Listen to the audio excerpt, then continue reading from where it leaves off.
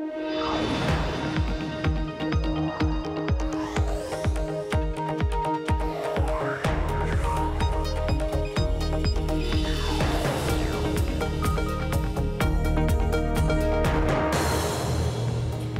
Emily Chang, and this is Bloomberg Technology. Coming up, Apple's most advanced handset hits stores next week, but the success of the iPhone 10 could rise and fall on its ambitious key feature. Will the new facial recognition technology set the gold standard for the industry? We will explore. Plus, Amazon gets a spare key. The online giant is rolling out a new delivery feature that lets couriers in, even when there's nobody home. We'll discuss and a new price system in the pipeline to better navigate the highs and lows of the U.S. box office. How Regal Entertainment plans to rip the script on how viewers pay. First, to our lead. Interest continues to grow over the iPhone 10 as the countdown to its November 3rd release begins. This is one of the most ambitious devices Apple has ever brought to market. The technology posed several challenges, however, for Apple, from facial recognition to 3D sensors. Bloomberg Tech's Alex Webb has been covering what's going on behind closed doors at Apple and whether the tech giant will be ready to get the iPhone in the hands of consumers next week. Alex Webb joins us now, along with Crawford Del Prete, IDC Chief Research Officer. So, Alex, you have a new story out today uh, where the main headline seems to be that Apple, at least from where it started with the facial recognition technology, decided to downgrade that technology in order to produce it at a mass scale. Please clarify what I just said. So what we're talking about here is a technology which previously was only in the Microsoft Kinect, which was you know the size of a kind of a large hardback book. They've reduced this down to the size a few centimeters across and a few millimeters deep. The realm, the realm of error, the margin of error in that is tiny. And in order then to uh, make it possible for their suppliers and their component makers and module assemblers, people who take components and build them into a package, which are then ship to the Foxconns of the world, they had to reduce some of the specifications in order to make it possible to ship it in the quantities they needed. So what does this actually mean? Well, I mean, from a consumer... Is the technology going to be any different than advertised? From a consumer perspective, I don't think anybody will be able to tell any difference, frankly. You know, the difference they were talking about for the Touch ID, one in 50,000 people could spoof your fingerprint for Face ID, they're saying it's one in a million. Now, I've no idea whether, unfortunately, from our sourcing, they cut some of these um, specs before or after they released that one, million, one in a million figure. But the likelihood is it's still going to be infinitely better than Touch ID. Now, Apple's statement on your reporting, Bloomberg's claim that it reduced the accuracy spec for Face ID is completely false, and we expect Face ID to be the new gold standard for facial authentication.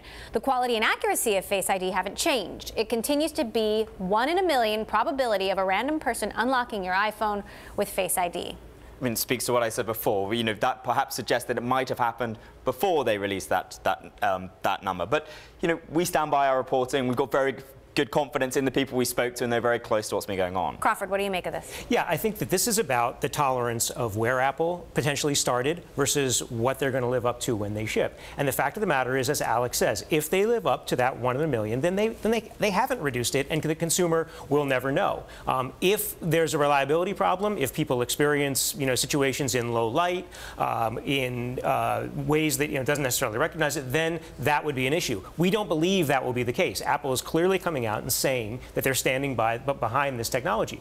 We have said we think there'll be somewhere between three and four million devices at launch. We're standing behind that number. We think it's going to. We have no reason to believe it won't be a successful launch. Alex, walk us through how facial recognition technology, Apple's facial recognition technology, is expected to work? So there are fundamentally three components here that matter. There's what they call the flood illuminator, which is much like a torch. it flashes around and sees, oh, there's a face. Now, it then palms, passes on the action to what they call the, the dot projector, which is very computationally intense. They do not want it to be on the whole time. This flashes 30,000 dots at your face. The infrared camera then detects that, puts it through their algorithms and recognizes this is the person who is I should allow or should not allow to unlock the phone. So, Crawford, how difficult would you say is it to manufacture this kind of technology at scale?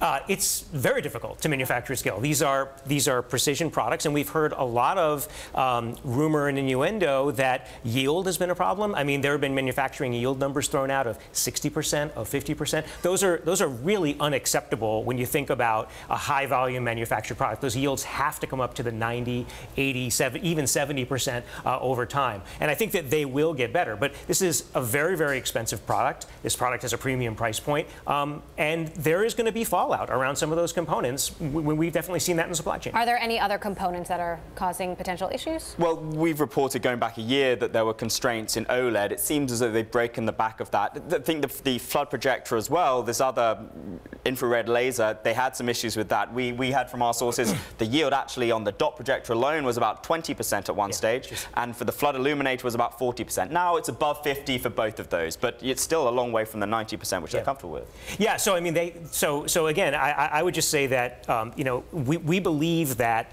um, Apple will ship optimistically somewhere, say 37 million iPhone X's in Q4. We're now feeling that's that's at the very high end, not only based on uh, the components we're talking about today, uh, but also based on OLED availability. I mean, don't forget, Samsung has the absolute lion's share of these screens locked up, and they take a significant amount themselves. So OLED, we're not willing to say is not going to be a constraint going forward, and certainly going into next year. Uh, that's shipping. What about demand? Are you expecting demand to, you know, be, be, be, higher than uh, ever, um, um, despite uh, this $1,000 yeah. price tag? Our expectation is that there will be unsatisfied demand in Q4. Mm -hmm. This is going to be a very, very hot product. When people uh, are, you know, lining up for it, trying to get it, th they they will not be able to meet initial demand in Q4. We don't believe. I, think one thing also to take away from our story, we go into very great depth. This is one detail of the story, which obviously Apple hasn't been very happy with, but we go into very great depth about the supply chain. And I think the big takeaway is they have broken the back of a lot of the problems they had with the 3D sensors. This was one of the ways they did it. There are other ways as well. Please read our story. All right, Crawford. So, you know, what do you expect? Uh, Pre-order start on Friday. Yep. You can go to the store and buy it the following Friday. Yeah if you stand in line, yeah. uh, presumably. But, but, but how do you expect uh, the, the, the demand and supply curve to unfold? um, I think that they are going to be fairly supply constrained. As we said, our expectation is somewhere around 4 million at launch. They probably ship somewhere optimistically uh, 37 million, probably more realistically, somewhere in the 30 million mm -hmm. range for Q4. Uh, and then our expectation is um, as you get out um, into next year, um, you know, we're looking at um, you know, 50% of their phones will be high end. We're looking at about 240 million units next year. Not all iPhone X, that's all, all iPhones in general. Half of those will be the larger size of which iPhone X will be included. And what are you seeing with the iPhone 8?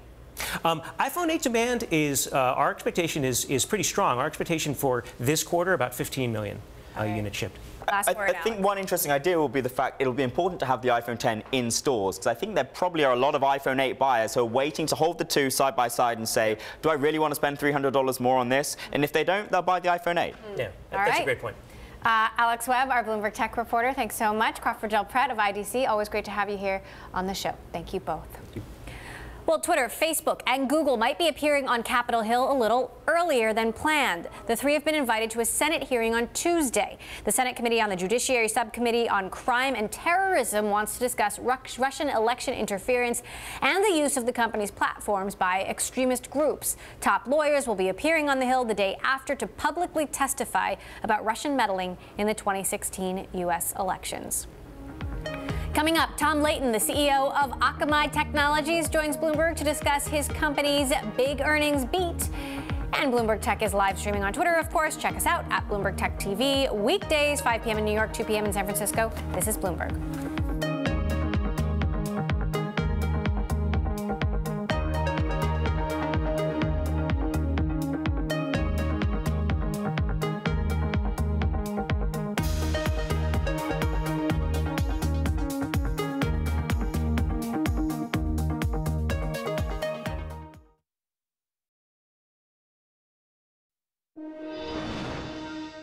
Stock we are watching, Advanced Micro Devices, plugged more than plunged more than 13% in the session, its worst performance in five months. Shares are under pressure after the company reported fourth quarter revenue may drop as much as 15% from the previous quarter.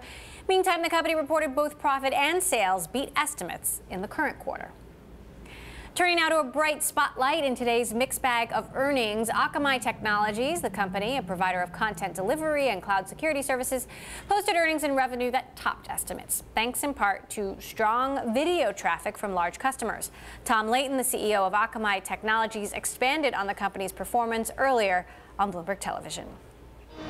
Yeah, I think so. Uh, you know, people are watching a lot more video online and at higher quality levels, and as much as that's happening, it's really the tip of the iceberg. Uh, you know, we gave an example on the call of, uh, you know, we had 60 terabits per second last quarter, and well, what is that? That's 12 million people watching at reasonable quality levels. Mm. And you can imagine a future world with 100 million, a billion people watching, maybe even at high quality. So a lot of runway left there, I think. I was looking at some of the analyst notes uh, following your results, and B. Riley boosted its price target to $70, and the analyst there said quarterly execution was stellar.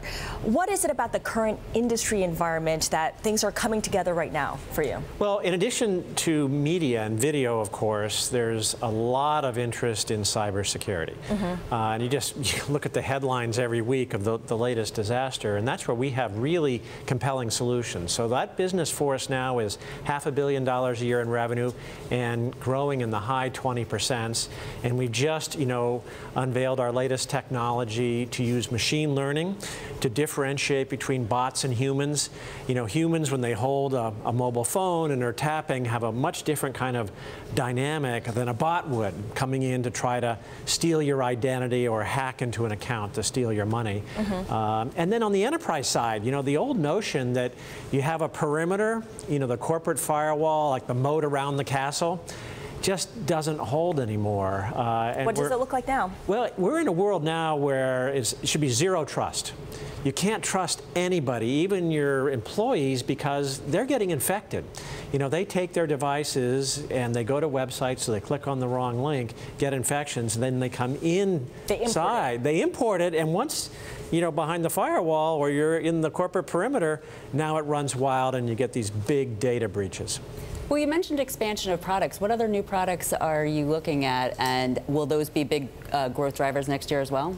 Yeah, I think so. You know, managing the bots, and there's all different kinds of bots, a lot of them bad, uh, but not all, is a you know, very fast-growing product area for us.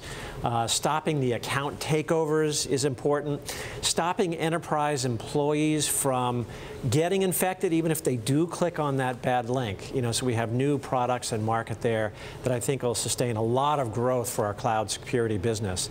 And on the media side, not only is there more traffic, you know, because more people are watching, but we just unveiled our new technology where over the top is ahead of satellite. You know, typically if you watched online, you'd be 10 to 90 seconds behind satellite. Right. You know, and so the, the touchdown had taken place, and then a minute later you're seeing it. Now we actually beat the satellite, which is very cool. Hmm. That is a good development uh, from where you stand, certainly. I want to change topics a bit here because I was noticing that you're one of the 18 CEOs who was invited to the White House this year. Uh, you had also served on President Bush, George W. Bush's Information Technology Advisory Committee as well. What do you see in terms of a follow through, a continuation of commitment in modernizing and securitizing uh, government in IT infrastructure? Has that been a, has that been consistent? Is there a follow through? Well, you know, I think the major tech companies really want to help the government modernize IT and better protect themselves. So we do a lot of work in Washington uh, to help the government. And irrespective of administration, that's really important to do. And sticking with this topic, executives from Facebook and Google and Twitter will be testifying on Capitol Hill next week on the probe into Russian intervention. What would you want to hear come out of that? Well, you know, obviously a very serious concern. These are very unusual times.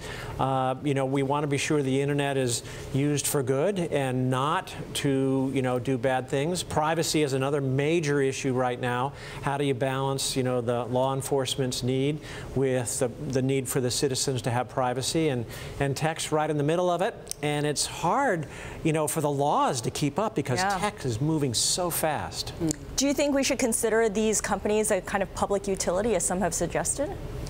Oh, it's very different than a normal public utility. These are obviously very large, very capable, very powerful companies providing a lot of great services. Uh, and it's just now we're in the middle of some of these issues around, you know, potentially things to do with the election being influenced by social media or manipulated news. Uh, it's really amazing what's happened over the last decade. That was Tom Leighton, CEO of Akamai Technology, speaking earlier on Bloomberg Television. Coming up, will a new pricing strategy incentivize moviegoers? We will dig into Regal Cinema's latest test. And a feature I want to bring to your attention, our interactive TV function. Check it out at TV Go, right on the Bloomberg. You can watch us live. If you miss an interview, you can go back to it. You can send our producers a message, play along with the charts we show you on air. This is for Bloomberg subscribers only. You can check it out at TV Go. This is Bloomberg.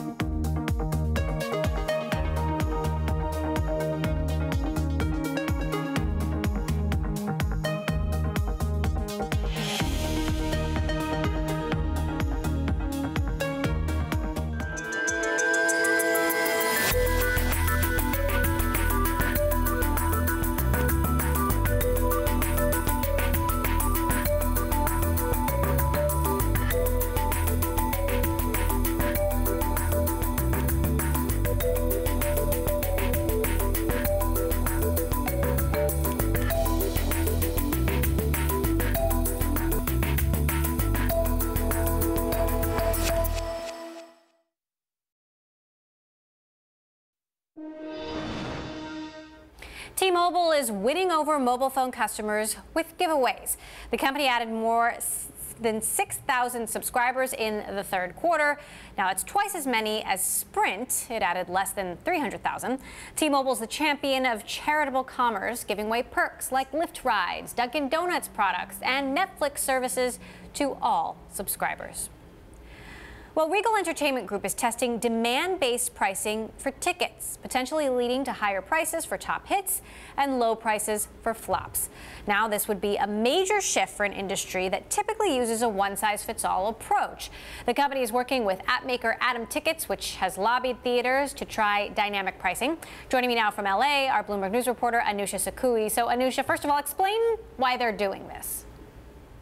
Well, you know, what's said quite frequently about the theatre industry is that you know innovation really hasn't come to it, and uh, this is really probably one of the, the more conservative, I would say, chains taking uh, the bull by the horns and addressing um, a sort of uh, issue that, that, that, the industry is facing right now, which is um, a very low turnout at the box office and struggling uh, in terms of uh, revenue this year. And especially over the summer, it was very disappointing. And, you know, that's reflected in their share price. You know, AMC and Regal, the two leaders, have both seen their share prices uh, fall quite considerably this year. So, uh, would this actually mean that if you go to a movie that's popular or good, the price would be higher, and a movie that's doing not so well, the price would be lower? So we don't know yet what the parameters are, and you know when I've reached out to Regal for more details, uh, you know they, they sort of sneak this out on, on a call yesterday with analysts. Um, they, they're quite reticent to give uh, too much detail about how exactly they're going to do this. What's clear is that they want to make more money in quiet times uh, and and busy times, and to use something like Atom Tickets, which uh, allows you know you to uh, you know, make group bookings, make it easier for you to be more opportunistic when you want to go to the movies, um, and, and to work together to try and uh, find some kind of trend in pricing that will help that and be flexible in pricing. The interesting thing is that studios really don't want, by and large, to have a price put on a movie that indicates maybe it's not very good. So it's sort of like a fine line that they're going to have to, um, you know, tread around. So, you know, that they can maybe charge more in, in what they expect to be busy periods, but not necessarily charge less for films that people don't like. So well, it's going to exactly. be uh, it's going to be a tricky one. How do we expect studios to react to this? Yeah, when, when I've spoken to executives, you know, uh, in private, these, I mean, these are very tense conversations. As the movie industry is at a critical juncture, and uh, the cinema and exhibitors are under pressure, as are movie studios, um, to address the rising threat of, of Netflix and Amazon and streaming in general, and people not going to movies. So um, they are very sensitive conversations. But what I've been hearing is that you know, studios generally don't want um, that, that, you know, that kind of dynamic pricing or commoditization of movies. But at the same time, you know, theaters have to, have to find some way of, uh, of addressing, you know, the lack of attendance. So, you know, some, something probably in the middle will, will happen. And also, um, analysts pointed out that earlier this year, AMC had sort of suggested something similar in terms of dynamic pricing. And in many other industries, it's commonplace uh, in terms of entertainment, live music, sports. You've also got a startup like MoviePass that's got this controversial once a month yep. uh, $10 fee to see a movie every day if you like. Do we know how um, that experiment is working? Well, I mean, we know it's very popular. They just um, upgraded the the expectations for their subscriber count and uh, um, you know increased the the, the public um, uh, filings around how many subscribers they've got now, 600,000. Whether or not that's going to end up being a business that works, we'll have to wait and see. But definitely, there's demand for it. And yes, as you said, that is a major threat. The other major threat that we've been reporting on is something called premium video on demand, which is basically the movie studios saying, look, people want movies at home sooner, and so they're trying to pressure theatres uh, to release um, their new movies and, and, reduce the exclusivity period that is typically given to theatres and let them show them at home sooner so they can make some more money. So there's a lot of different pressures there and a lot of sort of delicate negotiations going on around and testing uh, what's possible. All right, Anousha Sakoui reporting for us in Hollywood. Anousha, as always, thanks so much for joining us. Coming up, a prominent venture capital firm in Silicon Valley is investigating if one of its founding partners is guilty of misconduct. We will have that story next. And if you like Bloomberg News, check us out on the radio. You can listen on the Bloomberg Radio app, Bloomberg.com in the U.S. on SiriusXM. This is Bloomberg.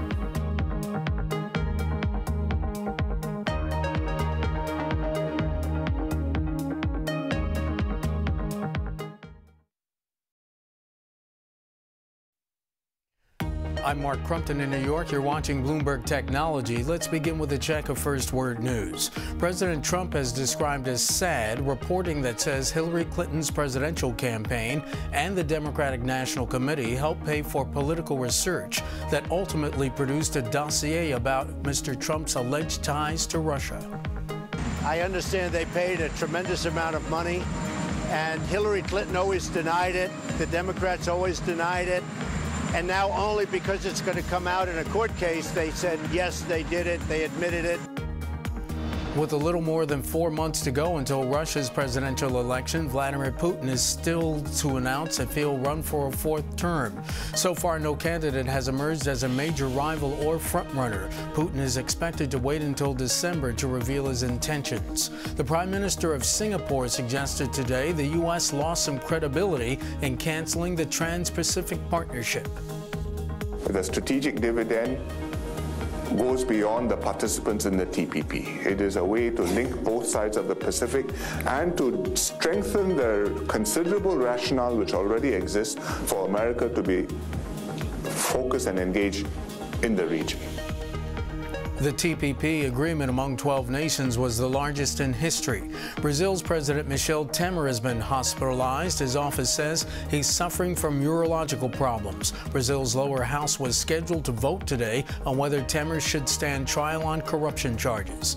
Global News 24 hours a day, powered by more than 2,700 journalists and analysts in over 120 countries. I'm Mark Crumpton. This is Bloomberg. It's just after 5:30 p.m. here in New York, 8:30 Thursday Thursday morning in Sydney. My colleague Paul Allen has a look at the markets. Paul, good morning.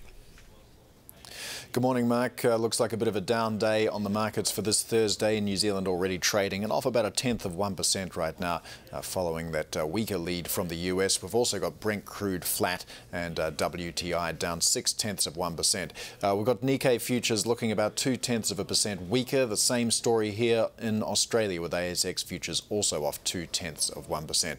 We've just had uh, some breaking news in the past few minutes. ANZ out with full year earnings. This is one of the big four Australian Australian banks. Full year cash profit up 18% to $6.9 billion, in line with estimates. Uh, return on equity rising to 12% almost, and the net interest margin just slipping a little to 1.99%. Full year dividend there, 80 cents. The Aussie dollar also weaker, around 77 cents, following Wednesday's very weak CPI data. I'm Paul Allen in Sydney. More from Bloomberg Technology next.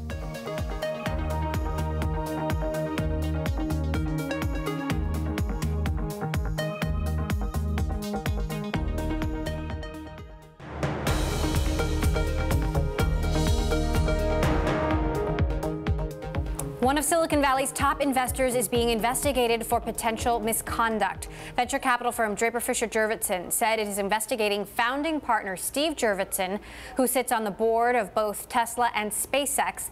The news comes days after entrepreneur Carrie Kukral called out the firm on Facebook, saying, quote, women approached by founding partners of Draper Fisher Jurvetson should be careful. Predatory behavior is rampant.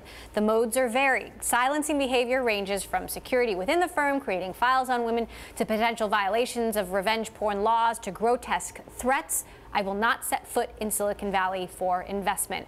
Joining me now to discuss, Ellen Huet, who's covering this story for Bloomberg. So we'll say at the outset, there aren't many details, but what do we know? We know basically what the company, or sorry, the firm has confirmed to us and to other outlets, which is that sometime over the summer they hired a law firm to look into allegations of potential misconduct against Steve Jurvetson, who's one of its founding partners.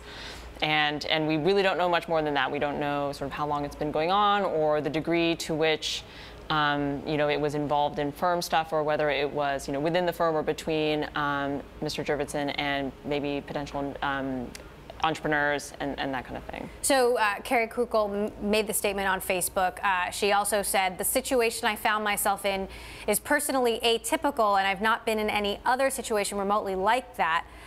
I was not seeking investment or trying to further my career. We understand that she and Jurvetson were involved in some sort of personal relationship. Uh, she also said that after she wrote that post that she was contacted by the attorneys who are working on this investigation. Uh, tell us a little bit more about Steve Jurvetson. We know he's on the board of Tesla. We know he's on the board uh, uh of SpaceX. Um, we know he's quite charismatic. He's been on the show before. Yeah, he's a really well-known investor in Silicon Valley. He has a particular interest in space, in sort of fringe technologies, and yeah, obviously has a very close business relationship with Elon Musk through Tesla, through SpaceX. But you know, he's also also a personal friend of his. He's just, he's one of these people who's very much in the orbit of some of the top entrepreneurs, top CEOs, top investors of Silicon Valley. So it's, it's really a, a, big name. He, um, he invested in Hotmail in the early days. And right. I believe that Draper Fisher Jurvetson is the firm that really threw Tesla a lifeline in, in the early days when Tesla couldn't raise uh, money. Um, of course, this is just the series,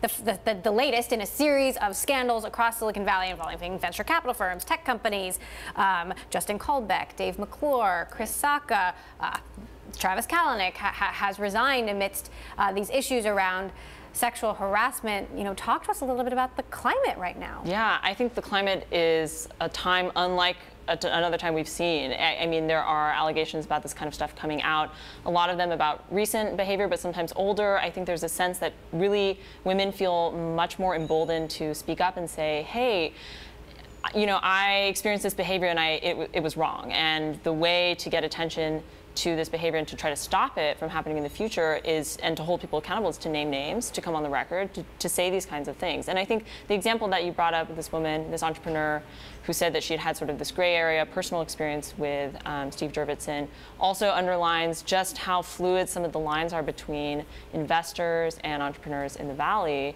you're not working together maybe until there's an investment, but there's a lot of networking, getting to know people, and you meet, and it's sort of business, but sometimes it's personal, and, and there aren't these hierarchies um, that we're used to within the workplace where it's pretty clear that, you know, um, managers should not date people who are their direct reports, and, and there shouldn't be relationships like that. But it's less clear, I think, in this world between investors and entrepreneurs. To reiterate the statement coming from Draper Fisher Jurvetson itself, Carol Wentworth, a spokeswoman for DFJ, uh, said the firm hired a law firm in the summer after hearing indirectly of allegations about Jurvetson. The process is ongoing, and the firm hasn't received a formal report of claims against Jurvetson or other investors. So, uh, a lot of questions, uh, not a lot of answers yet, but uh, we're going to continue to report out this story. Thank you so much, Ellen, for that update. All right, well, Uber is being sued by three engineers accusing the ride hailing giant of discriminating against women and people of color. The three female plaintiffs say Uber pays women and people of color less than their peers and doesn't promote them as frequently as males, whites, and Asians. They say the company is in violation of California's Private Attorneys General Act of 2004. Penalties under this act can amount to billions of dollars. Uber declined to comment about this lawsuit. Coming up, how to keep re-engineering success. Microsoft CEO Satya Nadella sat down with David Rubenstein to share his secrets. We'll hear some of that interview next. This is Bloomberg.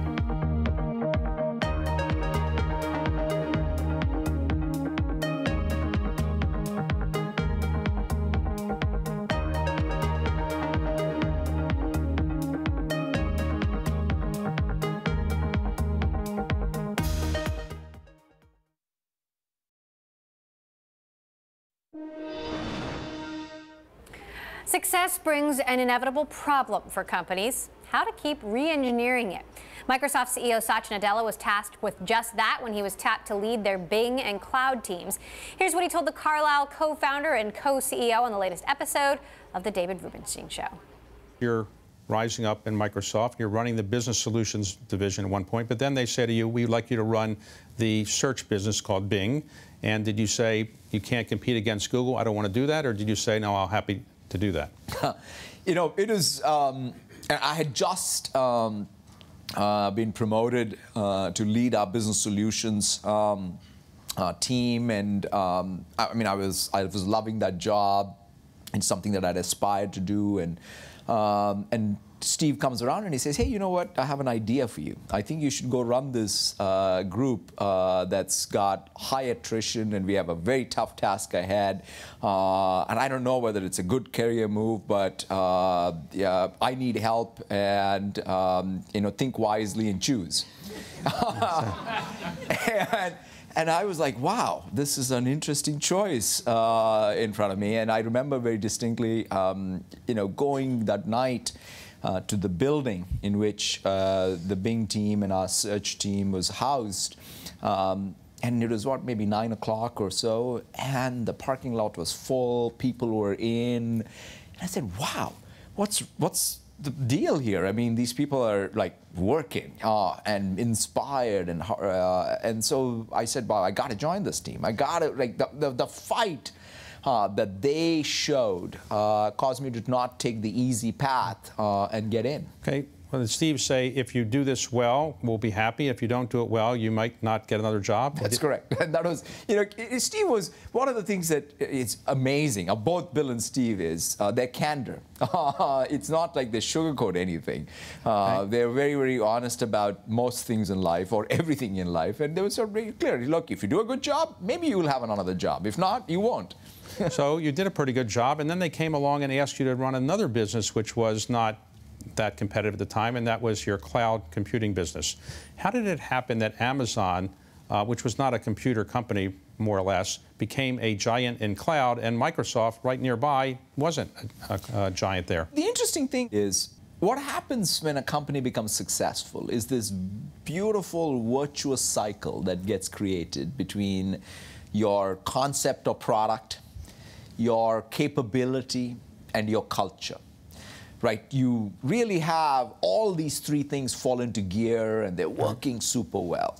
But then what happens is the concept that made you successful runs out of gas. Uh, it's not growing anymore. You now need new capability And in order to have that new capability, you need a culture that allows you to grow that new capability, right? We, our server business was growing strong double digits. It was a high margin business. Uh, and you look around, uh, you know, uh, on the other side of the lake, uh, here is a very low margin business Right. uh, called the cloud. And people will look at that and say, why would we do that? Uh, when we have such an amazing, fast growing, uh, high margin business. And that I think is the challenge. And so to be able to see these secular trends long before they become conventional wisdom, change your business model, change your technology, and change the product is the challenge of business. Uh, you know, in tech, it's unforgiving, but quite frankly, now that tech is part of every business, uh, I think all of us have to deal with it. And Rubenstein with Nadella discussed the issue of pay equity for women as well and what steps he is taking to address that challenge at Microsoft. Take a listen. Almost everything you've done since you've been CEO over the last three and a half years has worked perfectly. You know, the stock is up, the market value is up, everybody likes you. The only thing that I could find that anybody criticized you for was you gave a statement about women's uh, pay at one point, and you correct, uh, correctly, um, I think, changed your position the next day. But can you explain what happened? Absolutely. I was asked about uh, you know pay equity. In fact, I, you know I, I just gave such an absolute nonsensical answer, which um, Maria Klawe, who was interviewing me, was kind enough to correct me while uh, I was on stage itself, because I was answering a question literally using some past, I mean, my own personal experience without understanding the broader context, the depth of that question, which is what does a person like me, who is a CEO of a company, doing to make sure that one, women can fully participate uh, in our companies and in our economies. There is equal pay for equal work, and more importantly, there is equal opportunity for equal work. That was the real question. It was not about like, okay, what worked for you and what career advice do you have for me. Uh, it was a great learning moment for me. Uh, it's something that I've obviously uh, taken back. In fact, when I talk to women who are very close to me, work, you know, very senior, very successful women uh, that are key to Microsoft, and heard even their own personal experiences, that's when it struck me how you know the job of a CEO in particular is to make sure that everyone, uh, whether it's gender diversity or ethnic diversity, can first come into the company, do their best work, so that we can then serve our customers. So that's a re- realization, um, which I thought I had, quite frankly, uh, but I was. Uh, I'm glad I messed up so publicly because I think I internalized the lessons from it. Did you hear from your wife about that? Absolutely. From at that time, my mom was alive. For my mom and my wife, my wife had to give up her career because of our son. Uh, but in my even in my mom's case, uh, she struggled. She, in fact, uh, now I realize it a lot more than I even did. Obviously, growing up, um, was the trade-off she had to make, uh, where sh the the system that she was working in did not support her re-entry into the workforce after uh, you know she had uh, both my myself and my sister. So you have um, about 125,000 employees, something like that. So uh, what percentage are male? What percentage are female? And how many senior women do you have? Technology is not a place where a lot of women have risen That's to the top uh, yet, yeah. uh, relatively speaking. In fact, one of the things that uh, we have made some good progress on is uh, on the women's representation, which we have a long way to go. I mean, you got to remember that in tech we have a particularly tougher issue because of our technology uh, disparity in terms of uh, gender diversity. But let's start with the progress, which is in the last year we made. Um, and We've gone from around, uh, you know, we improved to 27.7% of women coming into the organization, which is around two points more than historical. And in the technology side, uh, where we've improved uh, by four points. So that's, I would say, movement in the right direction, but not enough, obviously. One of the other things our board uh, also did was to change the compensation system for me as well as my direct reports uh, to say, look, numeric progress, besides all the work uh, that we may do, programs we may have, and the talk, let's even tie compensation of the senior most people, including the CEO, to real numerical progress. And so uh, we're doing everything, uh, but quite frankly, it's going to take continuous vigilance, continuous push, uh, and it's a top of mind issue for all of us. Microsoft CEO Satya Nadella there. You can watch the full episode of The David Rubenstein Show peer to peer conversations with his guest this week, Nadella, 9 p.m. New York time.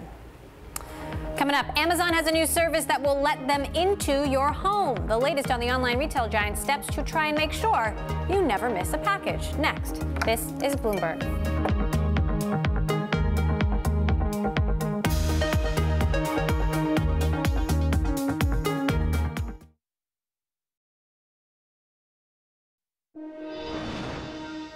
As we've been reporting, more than 200 cities are currently bidding to secure the location of Amazon's second headquarters.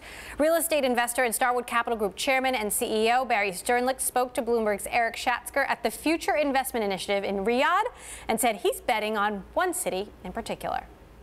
They create so much demand, and cities are so excited to have So them. far, they're not building their own buildings. Yeah. No, they don't want it on their balance sheet, but they are. They do own their own distribution centers. So, uh, not clear why. I guess they can't do everything, even though it looks like they're trying to do everything. Um, yeah, I think Boston has a pretty good shot at that, given that it's as far away in the technology and the infrastructure and the educational base, and just the zeitgeist of the city. So we'll see how that turns out. The other places you would think they might go are the southeast. Atlanta. Raleigh, Durham, Atlanta, places with a good industry technology. Atlanta is very affordable. Transportation hub. Transportation hub. In other Amazon news, the online retail giant wants to make missed deliveries a thing of the past. The new service, dubbed Amazon Key, will let Amazon deliver packages directly into your home. It will also let selected services like house cleaners and dog walkers in while you're away. The service works with an electronic lock and security camera that'll film the person entering your home. Joining me now to discuss, Mark Gurman, who covered this story for Bloomberg. So, how does this fit into Amazon's hardware strategy? Yeah, it's interesting. It seems like every other week we're here talking about a new Echo, a new Fire TV, a new tablet, whatever. Now it's security cameras. It's a hot space right now.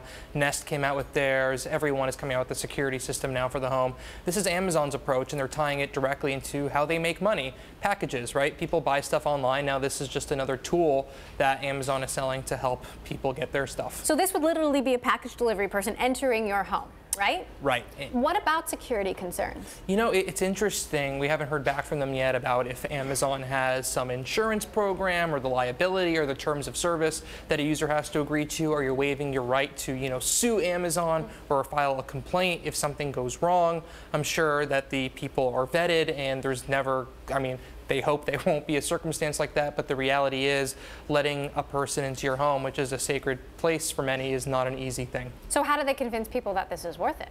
Well, there's two things. In terms of buying the hardware, I think it's you know a no-brainer purchase. If you mm-hmm. look at the specs on this thing, the video quality that it records, the app integration, it's actually 120 bucks, which is a really good price. That's about half the price of some of the closest competitors from Nest and other smart home camera makers. So from that perspective, I think it's a cool product.